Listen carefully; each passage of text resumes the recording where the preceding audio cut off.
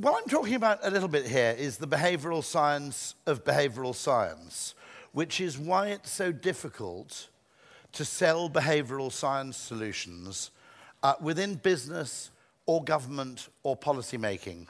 And the reason I refer to the placebo, I think there's a parallel in medicine. If you look at medicine, when you give someone a treatment, you give them a drug, there's the medicinal chemical effect of the drug, and there's also the placebo effect of the drug, which seems to be somehow visceral or psychological, but it nonetheless aids healing. In fact, developing breakthrough drugs seems to be getting more difficult because for some reason they don't understand, the placebo effect seems to be getting stronger.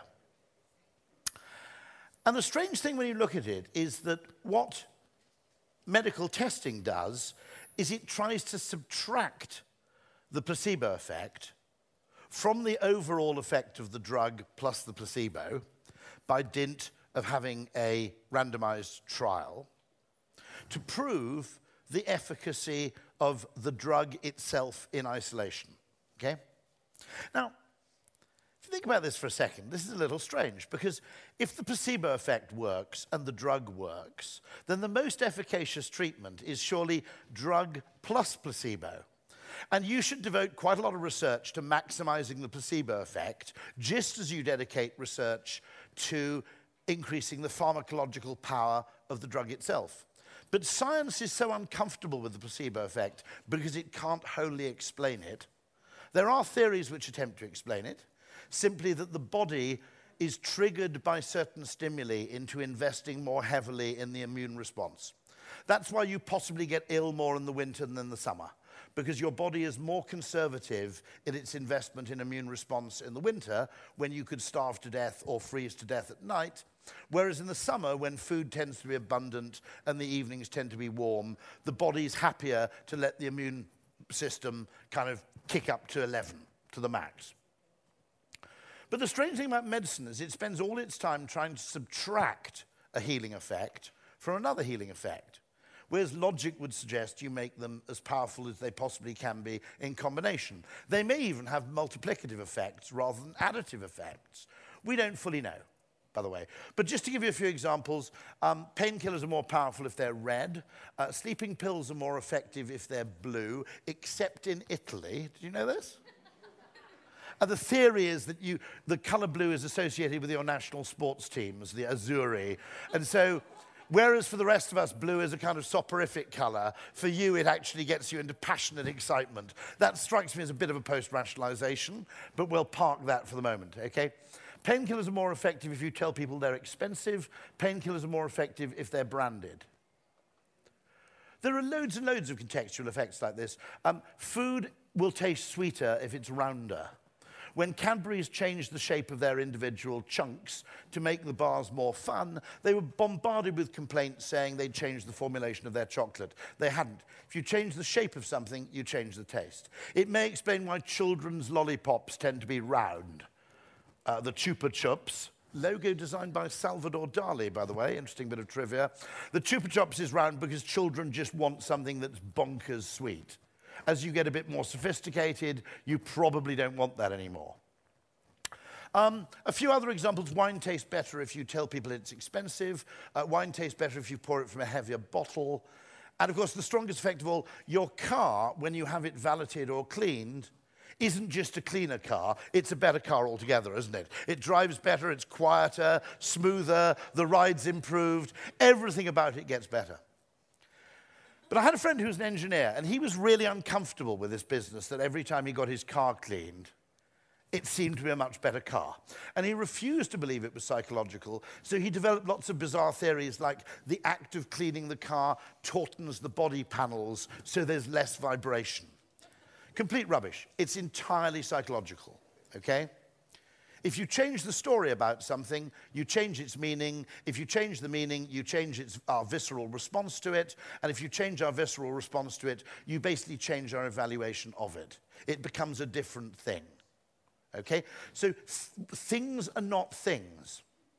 We don't actually respond to things. We respond to things in a context from which we derive meaning. The meaning drives an emotion, the emotion drives a behavior, and the behavior then drives an act of furious post rationalization. That's essentially how decision making works. Slightly different in B2B, of course. In consumer decision making, we're trying to minimize the risk of regret. And in business to business decision making, we're trying to minimize the risk of blame. Okay? No one ever got fired for buying IBM is probably the most insightful B2B sentence ever written. That's the deep down motivation. Those of you who don't know much about this, Gerd Gigerenzer, um, Risk Savvy, for example, uh, is a fantastic writer on this subject of defensive decision making. And if you think it's a problem in business decision making, it's a problem in medicine because instinctively doctors know they can be sued for doing nothing, but they won't get sued for doing something. And so doctors have an inherent bias towards over intervention for fear that you're the one in the hundred person case where they tell you to go away and it's nothing and it turns out to be something serious. So that leads to effects in France, for example, where something like 35% of the people in France in hospital are there principally because of over medication. I mean, it helps that they're a bunch of fucking hypochondriacs as well. Um, but, um, but nonetheless, it's also a product of defensive decision making. Now, the interesting thing is, I think we do exactly the same thing with economic value we, instead of saying let's multiply the perceptual value and the intrinsic value, we try and subtract the one as though it doesn't count. And I think this all goes back to a wrong turn that economics took. Um, this is a quote, a fascinating quote from Ludwig von Mises, who is, I suppose, from not far from here. Uh, he's one of the founding fathers of the Austrian School of Economics. The Austrian School of Economics interestingly believed that value was simply something constructed in the mind. And their definition of value was value existed when someone, for whatever reason, was prepared to pay some money for it. And they didn't ask any questions about whether that value was intrinsic or whether it was psychological because they didn't think the decision was meaningful in terms of human behavior. And when von Mises says this, the other people in the Austrian school would include Schumpeter, Hayek, um, and um, Schumpeter, by the way, was best friends with Peter Drucker's dad. So Peter Drucker, the marketing writer, is effectively an Austrian school economist. That's why he says things like um, there are only two sources of value creation in a company there's innovation and there's marketing. Everything else is a cost. Okay? Now, a non Austrian wouldn't say that. When Ludwig von Mises writes this there's no sensible distinction to be made in a restaurant between the value created by the man who cooks the food and the value created by the man who sweeps the floor. He explicitly means by the man who sweeps the floor, he means marketing. The man who cooks the food, manufacturing, the man who sweeps the floor, marketing. The Austrians believed that, just as I would say, look, if you can maximize the placebo effect, what's the problem? Okay? Now, Interestingly, the people who make Nurofen got into trouble in Australia because a bunch of killjoys at the Australian Competition Commission said that what they were doing was wrong. They were charging more for Nurofen, which was chemically identical, but they were putting it in fancy packaging and they were giving it a claim that it worked for a specific reason. Nurofen for period pain, for example. Okay?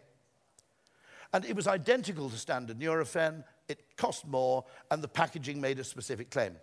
Now, Tragically, of course, making it more expensive made it a better placebo, and claiming it served a specific purpose also made it work more effectively against period pain. But this, in, according to the Australian Competition Commission, is cheating because the two products were chemically identical, even if they were psychologically different. I don't think they went far enough. I would have had, I've lost my car keys Nurofen and Nurofen for people whose neighbours like reggae. I think you could have taken the whole concept much further. But no, the Australian Competition Commission stamped on it. I'm the only person in Britain who complains that you can't get expensive aspirin anymore. Aspirin isn't protectable, it's not copyrightable, so it's sold as a generic, and it costs about 89p sorry, something that costs 89p isn't going to work on my headache, right? I haven't got an 89p headache, I've got a £3.50 headache, okay? now, what he's saying is there's psychological value essentially created by the man who sweeps the floor. He creates the context in which you eat the meal. And there's manufacturing value in the guy who cooks the food, but it's a senseless exercise to try and separate the two. Because if they result in someone paying for something, then by definition, that's value creation. You can, by the way, if you serve Michelin starred food in a restaurant that smells of sewage, nobody will enjoy the meal. I think we can agree with that, okay? Similarly, you can actually take KFC, put it on a white china plate, and dress it up with a lot of fresh vegetables, and you take it to an organic food fair in the Netherlands, because they've done this, and everybody goes, oh, it's marvelous, you can taste the authenticity, right? That actually our perception is hugely affected by context. And the Austrians would say, great, what's wrong with that? It's a really efficient, and I might add, environmentally friendly way of creating economic value. Because you don't have to make anything, you don't have to chop anything down, you don't have to burn anything. You've just got to tell a story around a pre existing something or other, and you create economic value. Great. What's the problem? Again, the placebo effect. What the hell's the problem, right? It's good. Okay? But, unlike the Austrians, most of economics took a wrong turn. Uh, that isn't Brian May of Queen, uh, just in case you wondered. Uh, it's actually Isaac Newton. Um, but what mainstream neoliberal economists tried to do is they tried to model economics on physics. And they tried to make it perfectly mathematically tractable with universal, generalizable laws that applied to everybody, in every species indeed, to everything, with the idea of basically utility maximization. Now, if you notice, okay, this chap had the second law of thermodynamics. Uh, you know, energy cannot be created or destroyed. It can just take its se separate form. Milton Friedman gets on in the act with there's no such thing as a free lunch. In other words, in Milton's world, it's like a Newtonian world. You can't create value out of nothing. It has to be manufactured. It has to involve labor or raw materials or something of that kind. And if you've wondered, any marketers in the room, why your finance department hates you, this is why, okay? Because if you've been taught standard mainstream economics, you are taught, first of all, that value is intrinsic in the product and that um, the way in which you present the product or the way the person perceives the product should have no effect on its value. Secondly, you're taught that everybody, okay, is possessed in your model of perfect information and perfect trust and stable preferences. There are a load of other assumptions as well. Transitive preferences, for example. That's an assumption of economics, okay? Now, I don't know if you spotted this, but in that imaginary world, which, where you have Homo economicus, who populates all economic models, perfect information, perfect trust, stable preferences, okay? There'd be no need for marketing to exist. In fact, it would be pointless because people already know what they want, they know how much utility they'll derive from buying it, therefore they know how much they're prepared to pay for it. And therefore the only exercise is to try and find it at the lowest possible cost. Okay, now that explains why people in finance hate marketing, because they're not Austrian. In their view of the world, marketing is a necessary evil. It's a cost to be minimized, not a source of value creation. So the finance model and the economic model of the world sees marketing activity not as a source of incremental value. It sees it essentially as an inefficiency. It's something of which you do as little as is strictly possible. And that belief, by the way, also affects cultures like Silicon Valley. It affects engineering cultures, it affects uh, finance cultures, but it's a widespread thing that marketing, like the placebo effect, is a purity, is an impurity to be disposed of, not a source of value. Just to be clear about this, my grandfather was a doctor in the 1920s and 30s in a mining town in South Wales. And he said, to be absolutely honest, before penicillin, before antibiotics came in, if you're a general practitioner, the majority of what you did was placebo. It was shamanism. It was reassuring people. It was making people feel confident, making them feel cared for, making them feel comfortable. The medicinal part of your job up to antibiotics, unless you're a surgeon, was actually the whole pharmacopoeia you had access to was mostly pretty useless, to be absolutely honest. And so, in this world where you, nothing can be created or destroyed, there's no room for magic. And if you don't believe in magic, you don't look for magic. And when people present you with magic, you don't believe it. In fact, you explain it away. And this, to me, causes a huge loss in the potential for value creation. Because the simple thing, very, very simple thing about the human mind, and not only the human mind, the primate mind, is we don't perceive things objectively, we don't value things objectively. In fact, the context of something determines our reaction to it. Therefore, if you want to make something more valuable, you can either change the thing itself or you can change the context. Right? If you think about it, there are only two ways to produce a valuable product innovation and marketing. One of them is finding out what people really, really want, to quote the Spice Girls, and working out a really clever way to make it. The other way is to find out something you can make and find out a way to make people want it. Okay? And there's no sensible distinction to be made between doing it in one direction or doing it in the other. Now, just to so prove this. The final experiment that I want to mention to you is our fairness study. Uh, and so this, the, this became a very famous study, and there's now many more because after we did this about 10 years ago, uh, it became uh, very well known. And we did that originally with capuchin monkeys, and uh, I'm going to show you the first experiment that we did. It has now been done with dogs, and with birds, and with chimpanzees. Uh, with, but with Sarah Brosnan, we started out with capuchin monkeys. So what we did is we put two capuchin monkeys side by side. Again, these animals, they live in a group. They know each other. We take them out of the group, put them in a test chamber. And there's a very simple task that they need to do. And if you give both of them cucumber, for the task, the two monkeys side by side, they're perfectly willing to do this 25 times in a row. So cucumber, even though it's really only water in my opinion, but cucumber is perfectly fine for them. Now, if you give the partner grapes, the, food preferences of my capuchin monkeys correspond exactly with the prices in the supermarket. And so if you give them grapes, that's a far better food, uh, then you create inequity between them. So that's the experiment we did. Recently, we videotaped it with new monkeys who had never done the task, uh, thinking that maybe they would have a stronger reaction, and that turned out to be right. The one on the left is the monkey who gets cucumber. The one on the right is the one who gets grapes. The one who gets cucumber, note that the first piece of cucumber is perfectly fine. The first piece she eats. Uh, then she sees the other one getting grape, and you will see what happens. So she gives a rock to us, that's the task. And we give her a piece of cucumber, and she eats it. The other one needs to give a rock to us. And that's what she does. And she gets a grape. And she eats it. The other one sees that. She gives a rock to us now, gets again cucumber.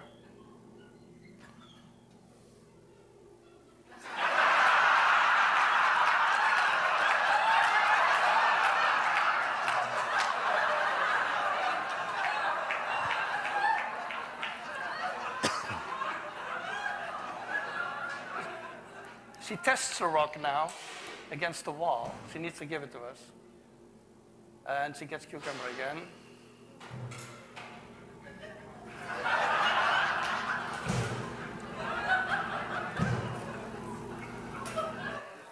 So this is basically the Wall Street protest that you see here. Now, you could use this effect. There's a monkey, perfectly happy. It likes, likes the trainer. It goes, This is a fair deal. Every time I give it a rock, I get some cucumber. Change the context so there's a monkey alongside that's getting grape, and suddenly this person goes from being a friend to an enemy. Okay? You can use that effect negatively. In fact, if you want to make people in a queue unhappy, Okay? There are a whole load of psychological things about queues which are nothing to do with the length and duration of the wait. Disney knows this. If you put numbers five minutes to go, four minutes to go, three minutes to go in a queue, people are happier. If the queue keeps moving, people are pretty happy. If the queue grinds to a halt, people get really, really distressed. Okay? If the end of the queue is out of sight, people are less happy than if the end of the queue is visible, which is why that bloody terminal at JFK is such a pain. Okay? Because you can't see what's happening. You're in a tunnel, okay? Um, and there's a fantastic one. If you really want to piss people off who are queuing, you have another queue alongside theirs which is moving faster than their queue. then that drives them insane, okay? Now, you can use this psychology to annoy people. You could use that psychology to make people happy. I've often wondered actually that if you just paid actors to stay in a stationary queue, whether you could partly solve the problem of check in times at airports. Okay. But you can also use it. My, my cousin uh, used to be a consultant in accident and emergency in hospitals. The NHS is obsessed with waiting times. But there's some really interesting findings about this. If you go in with some sort of interesting medical condition and you're seen by a triage nurse, okay, and the nurse says you do need to see the specialist, but there's going to be a wait of about two and a half hours, right? You'd think their reaction to a two and a half hour wait would be pretty much context independent, okay? No. If you show them through to a new waiting room, they're really, really happy. If you send them back to the original waiting room, they get pissed off really, really quickly. And that's because if you think of it from a chimp's point of view, if you like, chimps, and for that matter, the human brain, doesn't come equipped with a stopwatch. It's not annoyed in direct proportion to the duration of the wait. If you're moved through to another room, you feel you've been upgraded. If you're sent back to the original room, you feel you've been rebuffed. Okay? And that feeling is more important to the resultant emotion than the duration of the wait itself. So the objective measure that government always uses, which is time, is actually of secondary importance to something else. But the problem with government and the problem with business is it's obsessed with flaming objective measures, okay? So it will always measure the things that, are, that, are, that can be put on a spreadsheet, the things that can be averaged, the things that are accessible to measurement. And the way it measures those things is typically in SI units, okay? Weight, time, duration, all those things, speed okay? We're obsessed with improving the world objectively, just as we are in medicine, and we discount successful ways in which you can improve the world subjectively. This is a problem called the McNamara fallacy, also known as the quantitative bias, which is that McNamara took the awful decision to fight the Vietnam War using numbers, and he used the kill count. Now, in World War I, that might have been an okay-ish measure, okay? In a guerrilla war, it's catastrophic. Because every time you kill someone in a guerrilla war, you bring in one and a half new volunteers. If you kill someone unjustly, which the kill count incentivizes you to do, you bring in four new volunteers. So, this is why eventually the Vietnam War had to devolve to a discussion of hearts and minds rather than a discussion about munitions and statistics the whole point of scientific measures is precisely grams, meters, seconds, okay, is precisely that they're objective, not subjective. Okay? There's one exception. The lumen is the only metric in the whole canon of scientific measurement which pays any attention to specifically human perception. It's the only one that's brain friendly. And the reason is that they realized that if you're measuring the efficacy of light bulbs, you could claim that you were producing a spectacular amount of light at a very low cost while all the light was produced in the ultraviolet or infrared spectrum, okay? Now, that wouldn't be that great because although your light bulbs would be very efficient and procurement would buy them in huge quantities, everybody would be bumping into the furniture after dark because the human eye can't pick up things in those parts of the spectrum. So the lumen is actually um, weighted to human perception. No other scientific measure is, right? There was a debate about ambient temperature. Because when they started talking about, uh, those of you who are American are familiar with the fact that the weather forecast will occasionally say 75 Fahrenheit feels like 71, okay? Now that's an important distinction because how the human body perceives temperature and weather is a product of lots of different things. Part of it is the temperature, undoubtedly. Part of it is whether there's sunshine or not, because it feels warmer if the sun's shining. In fact, in Britain, by definition, if the sun's shining, it's a nice day, okay? Humidity has a very big effect. When it hit 100 degrees in London uh, last summer, I stayed at home because I couldn't stand going out. But I wander around Scottsdale, Arizona in 110 degrees weather, and I'm perfectly happy because, as everybody laughs about people in Arizona, it's a dry heat. But actually, it is a dry heat, and it's completely tolerable. Okay? Breeze completely changes your perception of temperature. If there's a breeze, particularly at face height, right? A large amount of the perception of temperature, I would also argue, is expectation. This morning, to my amusement as a Brit, everybody was going to work in Milan dressed in puffer jackets and Canada Goose Arctic wear because it had dropped all the way down to about 15 degrees. Okay? You go to Athens in the winter and you're sitting outside as a Brit in a t shirt and the locals are wearing fur coats. Okay? And so a large part of your perception of weather is also expectation. I was in Johannesburg in the winter and I came out of the hotel to see a sky with not a single cloud on the horizon. And the people from Johannesburg met me from the Ogilvy agency there and said, I'm sorry you had to come during such terrible weather. And I burst out laughing. I thought they were joking. And they said, no, no, it's terrible weather. I said, what do you mean it's terrible weather? It's fucking sunny. Bloody ungrateful bastards, right? Okay, how can you possibly say it's bad weather when it's sunny? You're an idiot. And they said, no, no, it actually, we had some frost last night. This is terrible. Apparently, the whole of the winter in Johannesburg, you never get a cloud. So they didn't consider it particularly good weather because it was cold. I was there basically, you know, I'm, like, I'm not quite as bad as the Swedes, where if it goes above 40 degrees and the sun comes out, they go naked and dance about. But I was thinking, what a fantastic day. This is a gorgeous sunny day. And they're going, oh, no, no, it's terribly cold. So your perception of weather is a very complicated mixture of context, past experience, and a whole load of factors, not excluding temperature, but by no means no, not exclusively temperature. If you're too stingy to buy an air conditioning unit, by the way, buy a dehumidifier. Apparently, it's a much cheaper alternative and has some of the same effects. Now, the way we perceive the world, as I said, is complex. We did not evolve for objectivity. Robert Trivers makes this fantastic point, okay?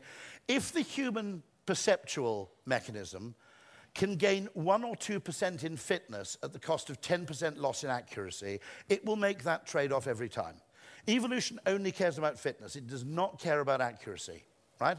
So, if by distorting our view of the world in some way, it can give us a small evolutionary fitness advantage, it doesn't care what accuracy is sacrificed on the altar of fitness. Which is why we as humans, this is probably also true of, of higher primates, we're disproportionately inclined to see faces in things. Because in terms of survival, it's disproportionately important to recognize anything with two eyes and a nose. This was a perfectly serious church designed by a serious architect who failed to notice. He was thinking lovely roundel windows, and then we've got um, we got we got we got a lovely little you know kind of little corn cornicing here, nice bit of cornicing. Of course, it's not known as the lovely church with the roundel windows in Florida. It's known as the chicken church okay?